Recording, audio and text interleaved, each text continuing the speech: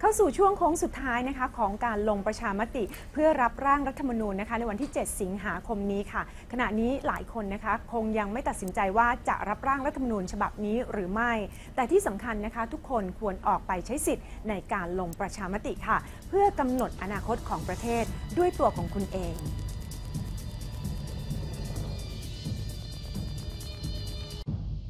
ประธานกรรมการยกร่างรัฐธรรมนูญ คุณมีชัยฤชุพันธ์ยืนยันถึงข้อดีของร่างรัฐธรรมนูญฉบับนี้ว่า มีเจตนารมณ์ที่จะสร้างความเปลี่ยนแปลงให้กับประเทศ โดยการปฏิรูปในทุกด้าน เพื่อนำสังคมไทยและประเทศไปสู่สิ่งที่ดีที่สุด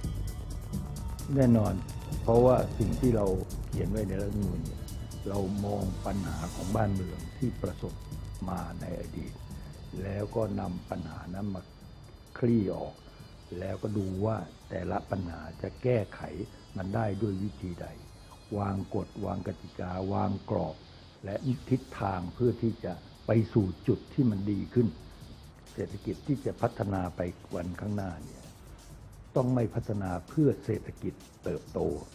แต่ต้องพัฒนาเพื่อให้ประชาชนทุกคนได้รับประโยชน์จากการเติบโตทางเศรษฐกิจ พร้อมๆกันไป เพื่อว่าจะได้ไม่ใช่มีคนรวยแต่กลุ่มเดียว คนอื่นๆยากจนหมด ในขณะเดียวกันเนี่ยได้มีการเขียนเอ่อเอาไว้ชัดเจนถึงอุปสรรคขัดข้องในการประกอบธุรกิจหรือประกอบกิจการของประชาชน ว่าจะทำอย่างไรถึงจะไม่ให้เขาต้องไปเผชิญกับความยากลำบากในการประกอบธุรกิจ รัฐไม่ช่วยยังไม่เป็นไร แต่ถ้ารัฐสร้างอุปสรรค มันจะยิ่งทำให้ลำบากขึ้น อันนี้ก็จะมีบทบัญญัติเขียนเอาไว้ในรัฐธรรมนูญ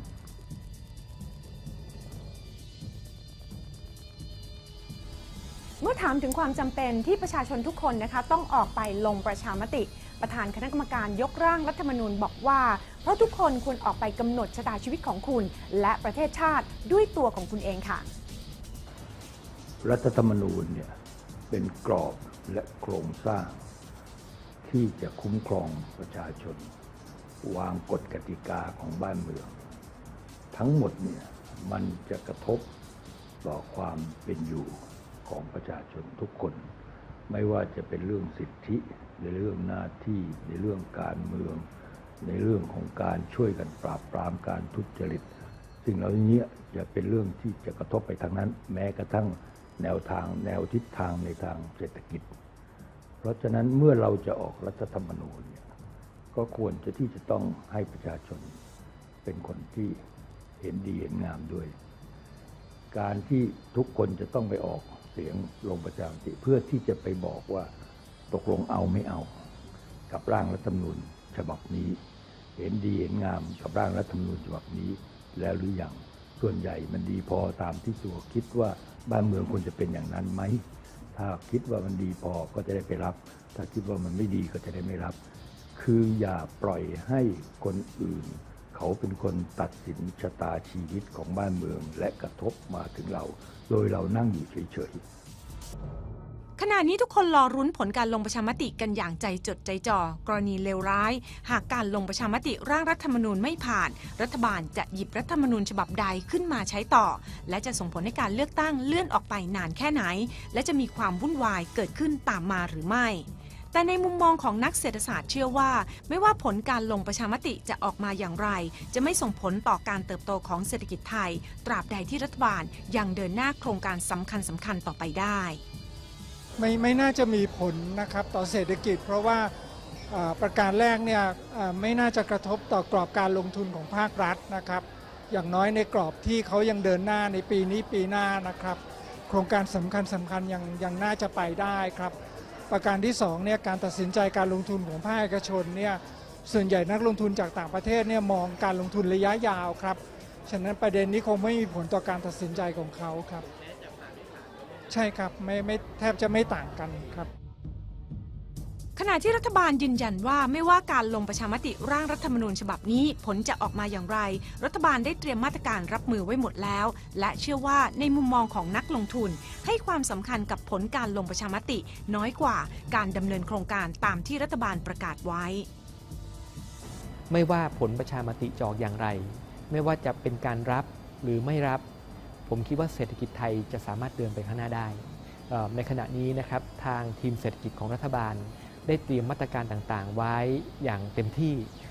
ไม่ว่าจะเป็นเดือนสิงหา เดือนกันยา เดือนตุลาเดือนพฤศจิกา เรามีมาตรการต่างๆ ที่จะออกมาเป็นระลอกระลอกระลอก เพื่อที่ให้เศรษฐกิจไทยเนี่ยสามารถขยายตัว แล้วก็สามารถที่จะมีโมเมนตัมเข้าไปสู่ปีหน้าได้ งั้น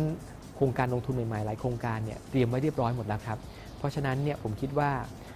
ไม่ว่าประชามติจะออกมาในเชิงรับหรือไม่รับเนี่ย ตัวเศรษฐกิจเนี่ยน่าจะสามารถเดินไปได้ต่อเนื่อง และผมคิดว่าตัวของอการลงทุนของเอกชน ลงทุนของภาครัฐเนี่ยก็จะมองในลักษณะเดียวกันว่า เราเน้นการสร้างอนาคตในระยะยาว หัวใจที่สำคัญของนักลงทุน ก็คือว่าเขาอยากรู้ว่ารัฐบาลเนี่ยจะสามารถทำนโยบายต่างๆ ได้มากน้อยแค่ไหน แล้วสามารถจะเดินหน้าได้มากน้อยแค่ไหน ในใจผมเนี่ยผมคิดว่า ตัวของผลว่าเดินไปว่าจะมีการเลือกตั้งปลายปี 60 หรือว่าหลังจากนั้นเนี่ยจะมีความสำคัญกับนักลงทุนน้อยกว่าความเชื่อมั่นในโครงการต่างๆที่รัฐบาลจะออกมา ซึ่งขณะนี้ผมมั่นใจครับจากการที่คุยกับหน่วยงานต่างๆเนี่ยโครงการต่างๆที่เราเตรียมไว้เนี่ยจะเป็นโครงการที่ไม่ได้ผิดแผกจากที่เราตั้งใจไว้แต่เดิม เพราะฉะนั้นเนี่ยก็จะสามารถทำให้ระยะยาวเนี่ย ไม่ว่าผลจะออกมารับไม่รับเนี่ยนักลงทุนก็จะทยอยเห็นว่าโครงการที่รัฐบาลตั้งใจไว้เนี่ยจะออกมาอย่างต่อเนื่อง แล้วก็การดำเนินการต่างๆเนี่ยยังขับขึ้นไปลักษณะเดิมนั้นผมคิดว่าเราน่าจะสามารถรองรับผลกระทบจากเรื่องของการประชามติได้ดี พอสมควรเลยครับลุ้นกันสุดๆ ค่ะสำหรับผลการลงประชามติในครั้งนี้นะคะ แต่ไม่ว่าผลจะออกมาอย่างไร รัฐบาลยืนยันค่ะว่าจะสามารถรับมือผลกระทบได้ในทุกรูปแบบ และที่สำคัญนะคะ นายกรัฐมนตรียังเป็นคนเดิมพลเอกประยุทธ์จันทร์โอชา ส่วนคุณผู้ชมนะคะ อย่าลืมไปลงประชามติกันนะคะ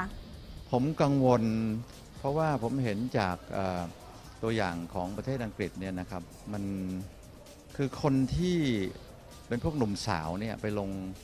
ประชามติน้อยมากนะครับ แล้วก็ไปลงไม่ไม่ถึง 10 20%นะครับเพราะฉะนั้นคนกลุ่มนี้จะอยู่อายุยาวนะครับ 5-60 ปีต่อไปเนี่ยทีนี้มันเป็นสิ่งที่เขาต้องดูแลประเทศชาติในอนาคตนะครับให้ประเทศเราเนี่ยขับเคลื่อนไปได้ดีเพราะฉะนั้นผมผมคิดว่าอยากจะเชิญชวนคนหนุ่มคนสาวเนี่ยนะฮะต้องมาดูแลว่าไอ้บ้านเมืองเราเนี่ยเราจะเอาแบบไหน ถ้าเราไม่ไปใช้สิทธิ์ใช้เสียงเนี่ย